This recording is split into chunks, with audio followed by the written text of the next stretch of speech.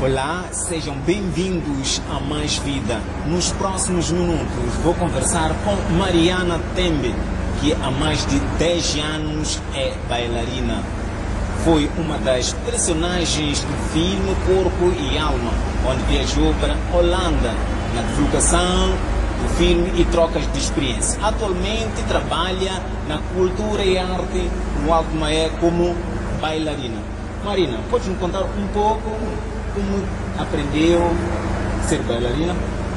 Olá, desde já agradecer pelo convite. É, eu começo a, dançar em, 2000, em 2006, quando uma colega abordou-me na rua, Vitória Massim. Então ela falou do projeto é, sobre dança eu, e a primeira vez foi um pouco estranho. Então eu fui o primeiro dia, não foi agradável. O segundo dia, o terceiro, acabei gostando assim, repetindo, né? Foi, a, a, acabei gostando e comecei, a, comecei assim a dançar. E de lá para cá nunca mais consegui sair. Exato. Como é que olha para essa sua profissão? Ah, é, é, é, uma, é uma profissão comum, que nem as outras, né? Eu gosto de, eu gosto de dançar. Acho que porque essa profissão tem uma particularidade um pouco, um pouco assim, porque trabalha, trabalhamos com a expressão, então é uma outra forma de poder me expressar, para além de ser verbalmente. Né? Então eu acho que é uma profissão que fala, que consigo falar comigo, consigo manter a, a, a, a comunicação com o meu interior. Então eu acho que é uma profissão que me completa. Desde já vamos acompanhar um dos números da Mariana.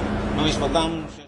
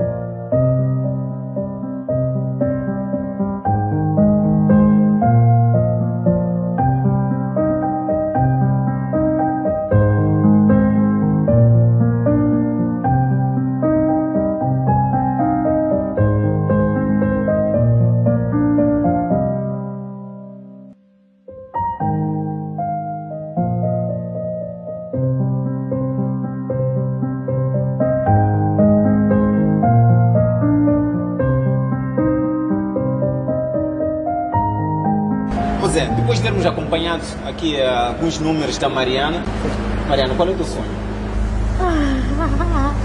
que questão! Ai, dificilmente eu vou, posso dizer qual é o meu sonho, porque acho que são. Não sei. Yeah, chega um momento que eu digo, não sei qual é o meu sonho. É uma lista, né? Exato. E depois da lista eu não consigo ver a, a, qual é a prioridade. Mas talvez continuar a dançar. Eu gosto de dançar. É, é, é algo que até então me move. Então eu acho que eu sinto que faço por mim e não por ninguém. Então resto acho que são.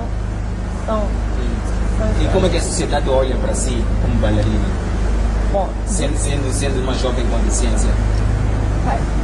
eu não sei.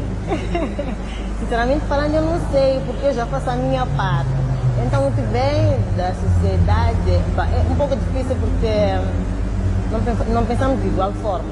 Mas até então, ah, até então eu recebo, ah, eu recebo comentários positivos, yeah, porque eu acho que não, não, eu acho que é um, é um eu acho que eu, eu, eles conseguem ver que, afinal de contas, as pessoas com deficiência, ou melhor, as pessoas com deficiência já é essa particularidade, mas não só com pessoas com deficiência, mas certas pessoas, né?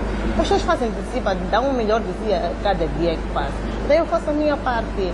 Não, não espero muito assim da sociedade, porque eu já faço a minha parte. Agora, o que vem deles para mim, bom, se for, se for algo bem-vindo, é bem-vindo, mas eu faço a minha parte, então da sociedade acho que não espero muito assim. Eu já faço, eu faço a minha parte. Muito obrigado, Mariana, eh, por ter nos recebido, aliás, eh, ter mostrado algumas das suas artes, dos seus sonhos, enfim. Eh, muito obrigado por ter aceito o convite de Mais Vida, programa da TV Sul, por estarmos aqui a debater sobre como é que é a tua carreira. Não, eu que agradeço, é uma hora estar a participar dessa rubrica, é uma hora. Muito, muito obrigada. E podem contar comigo para mais vezes. Obrigado. Tá, obrigada pelo convite. É, muito obrigado a si, caro amigo telespectador que esteve na nossa companhia, pela audiência, pela preferência. Nós voltamos daqui a sete dias. Até lá.